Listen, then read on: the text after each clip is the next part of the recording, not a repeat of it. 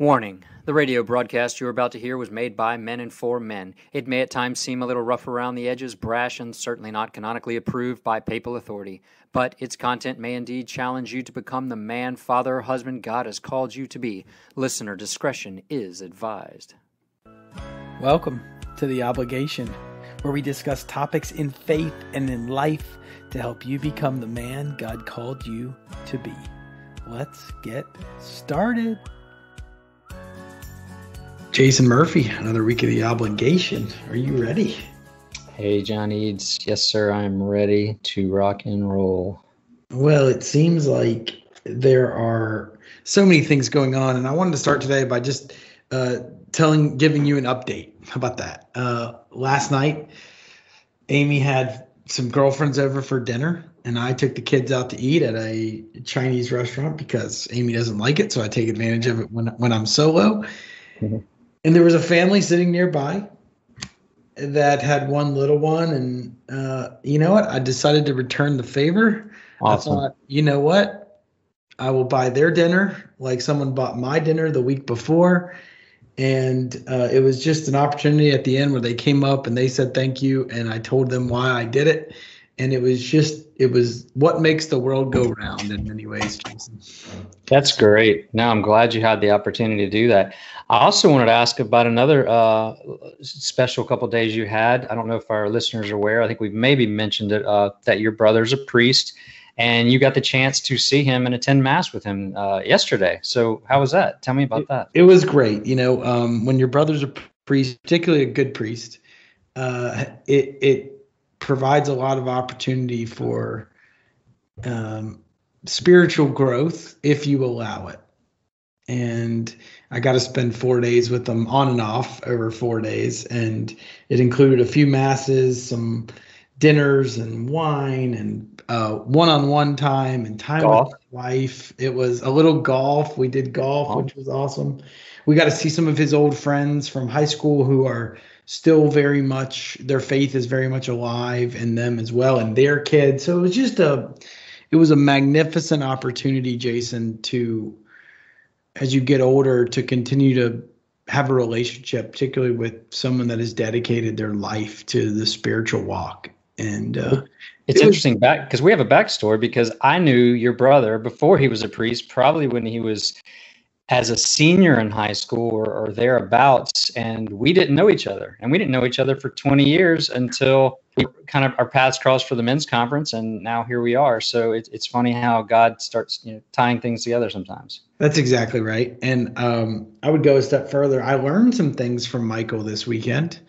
And one of the things I learned was about wisdom. And again, we weren't planning to go here today, but it's something I've been thinking a lot about because as I watch him interact with others or contemplate how he's going to respond to questions that are asked or things that are said, he's very slow to give answers. At times, he'll even close his eyes, Jason, which makes it a little awkward for everybody involved. Uh, but it, it's interesting because he's put in so much work and so much dedication on a daily basis to grow spiritually and that includes reading and prayers and i mean when other people's aren't thinking about christ he is hmm. and it's it's one of these things that as i've i've i've kind of reflected on his ability to be wise and to share good things i think it comes from his commitment to his habits every single day in the spiritual walk. And as I was leaving, he actually handed me, um, uh, he was going to the airport. He, he handed me this book that I'm holding up called Handbook of Prayers. Hmm. And it's from the Midwest Theological Forum. And again, I'm just getting through it each day, but this is his walk every single day, Jason. And uh, I was at a. I'm rambling here at this point. No, had, no. Uh, I was at, I, I, was sitting down with a, an executive coaching client who came in town, and I was telling him how my brother was in town, and he's like, "Oh, isn't he a priest?" And he's not Catholic, so he says, "They're not allowed. Are they allowed to marry? Are they not allowed to marry?" And so I was educating him on uh, on the priesthood and Catholicism in a in a nice professional manner, of course. And I, I thought about it for a second and I said, knowing what I go through on a daily basis from a marriage and a parenting and a professional setting, I'm happy our priests don't marry. Oh, um. Because it allows them the space to be a shepherd of souls and it allows them, I mean, it's not easy for them.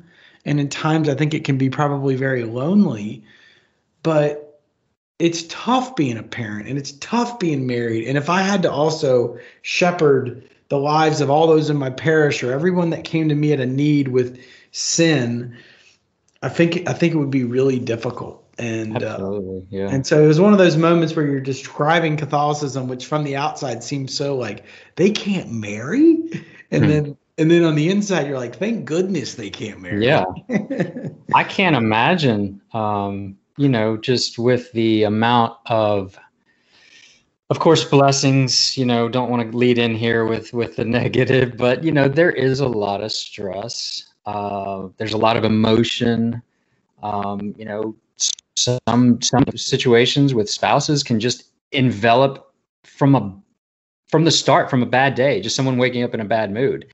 And before you know it you know you you've been short with your spouse and you know possibly a an argument and then the silence treatment and you know you're you're down the road and all that stuff you know it's it's so internal to us you know if we're really living the sacrament of marriage that it it can it can affect us. It's just like if if you know any any sin that you know pulls us away and a choice away from god it's going to affect us because it's pulling us from what we were created to be in living that vocation. So yeah i I can't imagine trying to do that. Now, there are many other rites within the Catholic Church that allow, you know, their priest uh, to be married, and um, you know, apparently, you know, they they they've worked out because they've been around for years and years and years. But the Roman rite, you know, has has kind of had the the vision there to to make sure that's that that remains separate and and they're you know the priests are married to their flock they're married to the church and that's where their focus is and I, I think I think that's a that's a that's a very wise choice by the church. I agree that it could certainly be very lonely because you know a lot of people think that priests priests just you know just didn't want kids and didn't want to get married, but that's not the case. Many many priests, most priests, I would say, you know, wanted that life. I spoke to a priest earlier today uh, or earlier this week, uh, Father Peter Tremblay, who's a Franciscan priest, and he's doing a retreat up in Hickory in August, and so we had a small interview for the radio show and. Um, that was something he thought God was calling him to. You know, thanks be to God, you know, he was able to answer his call to vocation. Now he's a he's a great priest and he's preaching uh, retreats and and bringing uh, faithful to Christ. And he works in a university setting at Elon College. Um, but you know, they all, you know, that's a that's something they sacrifice. It is a it's a sacrifice.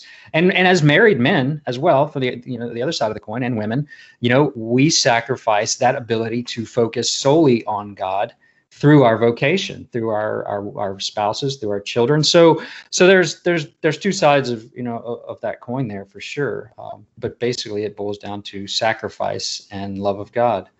And that's where we well, are. and i think you know even recently there's been you know there are priests that discern out of there there are men that discern out of the priesthood because they they call the desire to marry and have a family. And then there's priests unfortunately lately that have even left the church after years of the priesthood to marry.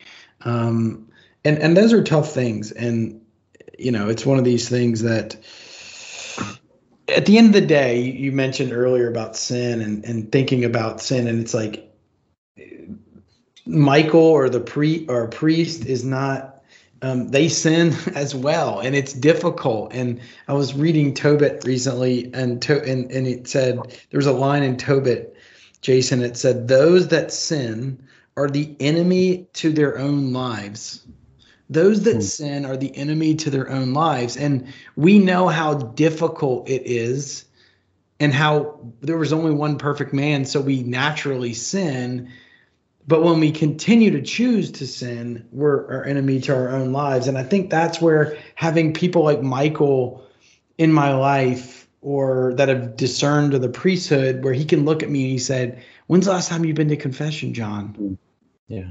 You know, how often are you going? This is an important thing for you to for you to continue on, or you're going to continue to move towards sin, which in this case is the enemy to my own life. And um, and so it's it's special relationships like that, Jason. And I, I'll I'll close with this about Michael and the priesthood, which is he was leaving, getting ready to get, get on the plane or go to the airport, and we were talking about our dad.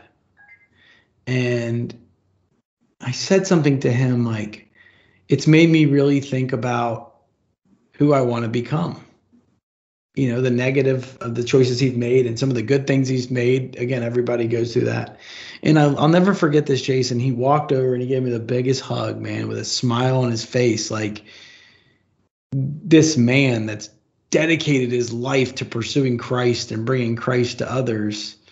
Um, he was pleased at this self realization that I've had in my own life. And I don't know, it's just one of those memories that I'll never forget. And we might not spend that many more days together, you know, the rest of our lives just because of distance yeah and commitment. But um, oh, what a great gift it was, Jason.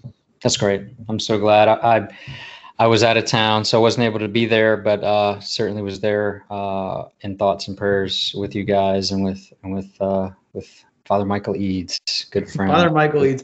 Uh, he, he, he, when I was, um, when he was, had his eyes closed and he's thinking about how to be wise and all these things. I, I pulled out my phone at dinner and I wrote this down, Jason. I, I wrote down, wisdom doesn't need a way out. It finds a way out. And it's like, mm-hmm. there's something about the work that he's put in, in those 10 or 15 years now as a priest, it just finds its way out at the right time. And so I just want to commend all those men and and really mothers that have that their sons have gone on to be priests because it's just it's such an important calling in in the world. And um, even yesterday i was on a coaching call with a rabbi in dallas fort worth texas. Okay? He goes i bet you've never coached a rabbi before. And i said you're right i have not. Um, but there's something so special about these men jason that have, that have answered the call to, to the faith. And certainly the Catholic faith is, is the one true faith in my world and in your world. But those men that have, even the dads and the husbands that are making the call to bring the faith to their family and their kids, it just, it's wonderful. It makes me so happy.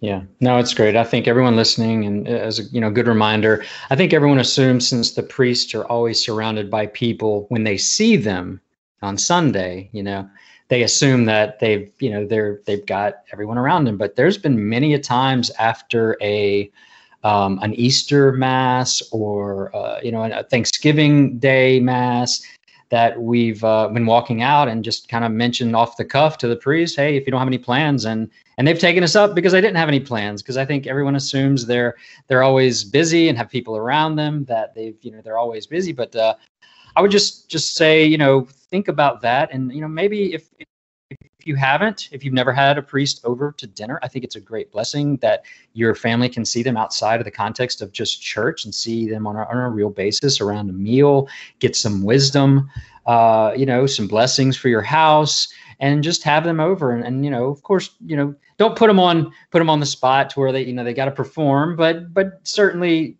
allow them to relax and have a meal and just see that side. So I, I encourage everyone to, you know, tr- if you haven't ever done that, maybe reach out to your local parish priest, invite them to a, a dinner or a lunch, and and try to get to know them outside of the context of mass, because I don't think many people ever get that opportunity. Um, and it, it, it is a real blessing. It's been a blessing for us in the in the few times we're able to do that um, to have them you know, around our house. And they need that. They need that family life because that's something they aspired to at one point, perhaps, and, and probably. Uh, and to see that, I think it encourages priests. It encourages priests to see them, to see families that are that are growing and living their faith. It's kind of like a you know just a, a, a note of accomplishment. You know that they're you know that they're performing well and kind of you know seeing how their their flock is doing. So uh, it's uh, it's a good opportunity. I would even go a step further. You know, it allows them a light into the world of what their parishioners are actually facing, the good yeah. and the bad. You know, yes. I mean, it got it like just as an example for Michael to be able to sit down with my wife for 45 minutes and talk about real stuff going on and you know giving a confession uh, to her or to john ellis he gave a mm-hmm. confession to john ellis outside it was like it's a it's a it's a way for them to step into what people are really struggling with or facing at home, which then allows them to preach better or better connect with yes. them better versus always being so like um, philosophical or like kind of the pulpit. Yeah. Exactly. Exactly. Yeah. So yeah, uh, good stuff. Good. good. stuff. You've got you've got some other stuff going on right now, and and we talked a little bit about prayer. We were going to discuss prayer today yeah. and what it means and why it's so important. So I'm going to be a little candid here. I had a I had a pretty serious conversation with with God the other day. I did. I it was uh, it was in the evening. I was by myself.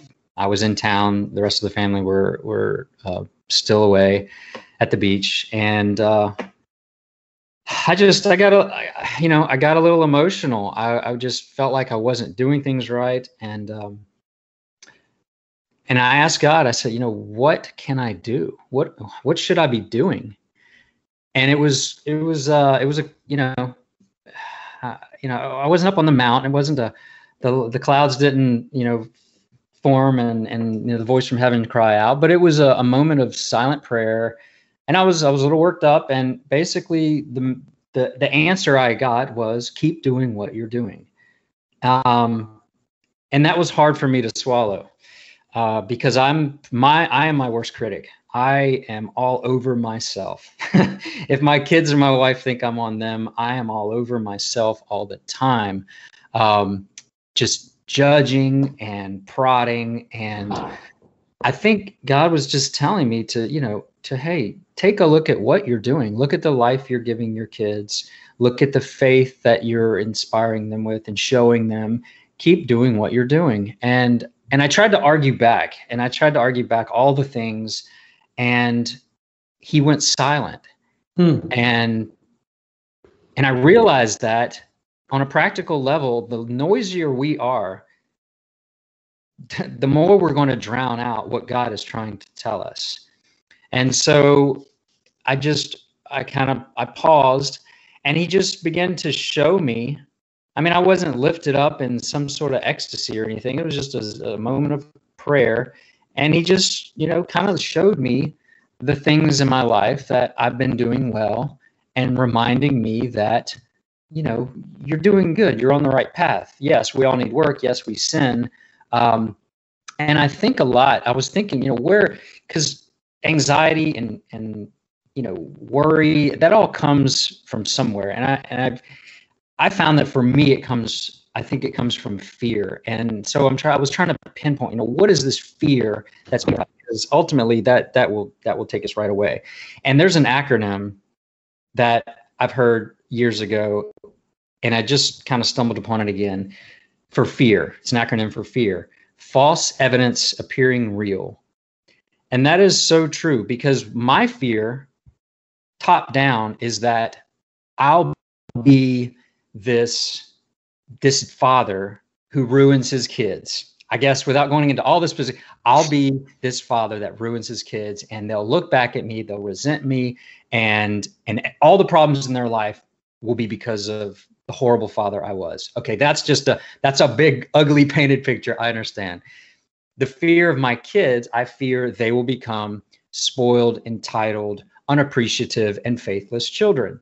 Hmm. Um, of course, we, you know, no one wants that of their children. But if we're guided by that and we're fearful of that, sometimes we can manifest our fears because we're so fixated on our fears instead of having that moment like I had in prayer that, you know, that day where I just stopped and listened. And that's what prayer is. And we've talked about that before. It's it's just it's being in the presence of God. And the more we yes, there are prayers that we verbally say and that we mental, you know, spiritually say. There, the Mass is a, is the greatest of prayers, um, and it's an outward sign. And there are, you know, verbal and and and mental and spiritual. There's there's a lot of different varieties of prayer, but the essence of prayer is is truly just being in the presence of God. So I think that is where my anxiety comes because I will start to think, I'm becoming this father, so I'm just going to drive on down that road, and my kids are becoming those kids, and I'm going to have to be the domineering, you know, father to make sure that doesn't happen. But the more we do that, the more likely we shove them into that path.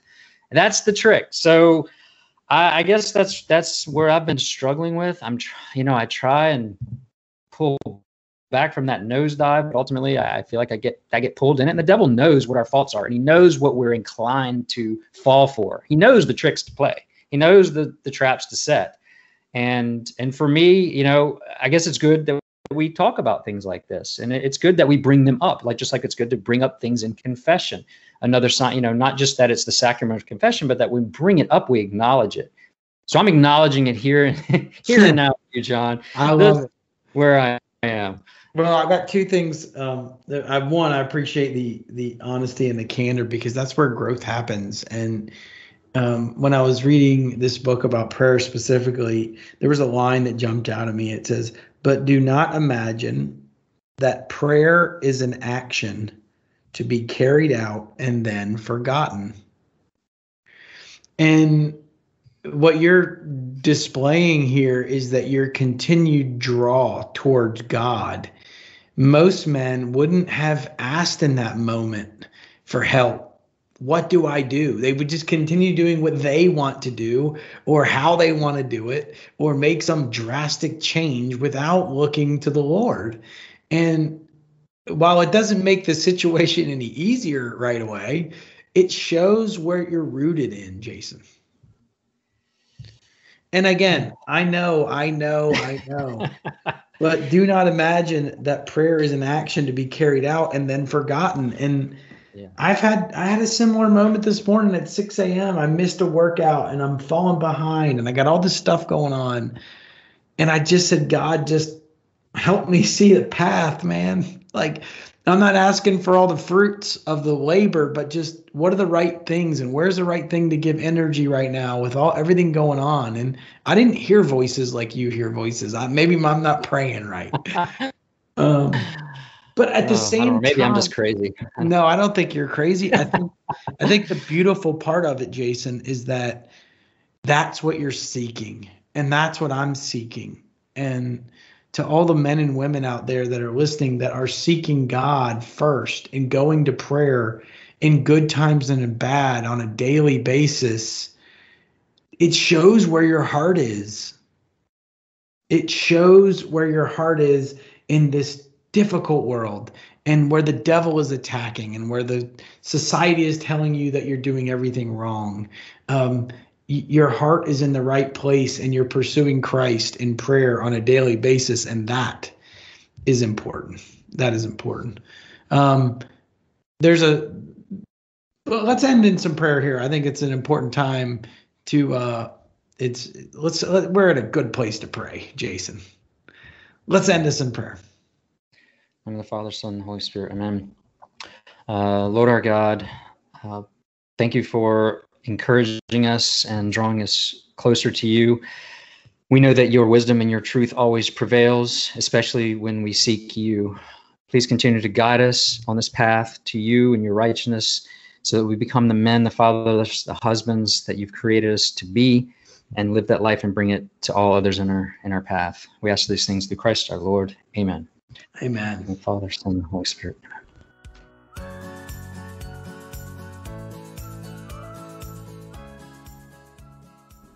Hey guys, it's Jason Murphy again. Just to remind you about the Ministry Minute. This is our weekly featurette highlighting ministry leaders throughout our diocese. Recently, I sat down with Franciscan Father Peter Tremblay, and here's a sneak peek of the upcoming Ministry Minute. Sitting down today with Franciscan Father Peter Tremblay. Father Tremblay is a priest in the Diocese of Raleigh who is currently the director of campus ministry and associate chaplain for Catholic Life at Elon University. Father, thank you for joining us today. Well, thank you for having me. It's great to be with you. Yeah, it's great. I, I see you're you're one of the many New York transplants we have in the Carolinas. Well, via, I, I via Steubenville. Yeah, yeah. It's not New York. It's Buffalo. Okay, So there you go. I'm very right. proud of my uh, my my uh, heritage, being a Buffalonian, and and uh, football and and food, and I, I love uh, I love all things Buffalo. Miss it a lot. Definitely a distinction. I think Yes. uh, those from New York will clarify they're from New York, and those from Buffalo are going to clarify they're from Buffalo. So that's great. It's a fun rivalry. Um, so we're talking earlier, mentioning that you know a lot of folks who you know a lot of Catholics really don't ever get a chance to you know hear hear the backstory or get to know their priest on on really a personal level. So I thought maybe we'd start off with perhaps you know how old were you when you first first started thinking about a vocation, and ultimately you know when did you decide to start discerning and then ultimately you know becoming a priest? We'd love to hear about that. Yeah, I, I appreciate the question. Um, so I think the context for me was tremendous health difficulties and struggles when I was a teenager. And it was a very faithful family that I was blessed with. Mom and dad were incredibly devout. Uh, my brothers were very devout. And it was prayer and my faith that was able to get me through some very serious life and death struggles as a teenager. And at about the age of 16, there was this sense that the joy and the hope that my faith had given me and, and supported me with something that maybe I would want to live in a very intentional way and share that with people. I was hoping that that nagging feeling would go away because I wanted to be married and I wanted to have a family uh, just like my parents. But it didn't go away. So finally, after college, I joined the Franciscans, the same friars who ran the high school that I went to outside of Buffalo, New York, the conventual Franciscan friars. I spent two years working with the poor on the streets of Philadelphia uh, as a uh, postulant, and I've been with the Franciscans ever since. That's great. That's excellent. I heard you're a little bit of a woodworker. Uh, yeah, yeah, I am. It's uh, something I got into years ago. I um, I love the ministry of the mind and the heart and the soul, but boy, I tell you, every now and again, I have to get my hands dirty doing something or building or making something. So it was a hobby that's just developed organically, and I build uh, all kinds of different uh, things out of wood, and uh, I love giving it all away. It's just uh, that's p- part of the fun. I think men need that. We need to to have something to be able to work with our hands. It's just innately in in all of us. Uh, model of Saint Joseph. I think that's that's wonderful. Yeah. Uh, I, know, I noticed you built an altar. I guess uh, as the uh, chaplain for Elon University, you have a, a new altar. That's right. that Yeah. So that was the height of the pandemic when everybody was sitting around doing nothing. I, I went to the workshop and built a new altar for our ministry because we really needed one. The one that we had been using, and it's it's a temporary altar that needs to be moved every time we celebrate Mass. So the bishop came out and blessed it.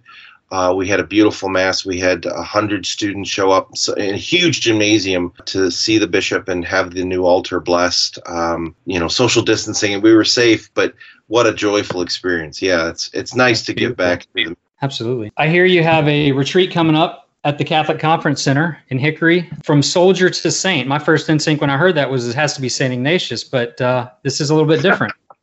Oh dear. Oh, I, I, I need to retitle this then. No, no, no. Uh, I was thinking both as a summation of, of kind of the militancy of Saul of Tarsus, arresting and killing Christians, but also the initial hopes and dreams of Saint Francis of Assisi of wanting to go off to the Crusades and be a great uh, a great crusader, a great warrior. But it does fit Ignatius. That's that's I hadn't thought of that. Oh my goodness. Well, Um, I've done a few Ignatian retreats up there, so I guess it was already uh, in the back yeah, of my that's head. right. I'm, So- I'm so Franciscan at heart, it hadn't even crossed my mind. But I'm excited. I haven't preached a men's retreat probably in five years. So this is an exciting opportunity for me to really develop a spirituality that feels very authentic and very, very timely. I think we live in a world where the faith of the church is misunderstood. A lot of people are really wrestling with what does it mean, you know, just gender questions. And then, of course, the question of, of masculinity. And I think uh, Paul and Francis are some of the finest examples of Christian masculinity that we have. So that's coming up August 6th to the 8th, correct? Can you tell us a little bit what what'll take place uh, during that weekend? got a, a schedule that I, am really excited about. Uh, begin Friday evening with a, a, little reception, some dinner. Our first talk is after dinner Friday night, and then Saturday from 8 a.m. at breakfast straight through till about 8 o'clock at night. We've got things. We're going to have uh, three more talks on Saturday. Uh, plenty of time for confession, spiritual direction, um, and some free time for personal prayer. Lots of adoration will be available. Sunday morning um, mass and then uh, brunch, and that'll be that'll be the retreat. So it's it's full, but I really like the balance of time for personal prayer as well as time to be together. Absolutely. Well, Father, that's about all we have for the Ministry Minute. We appreciate you uh, taking the time to come on board and also answering the call, and, uh, following your vocation to uh, continue uh, our Lord's ministry. So, uh, God bless, and we hope prayers will be with you for the retreat. And we'd love to have you come on the Obligation Radio show one day because this was much too short. I'd love to join you again. Thank you for the opportunity and uh, looking forward to the retreat. All right. God bless.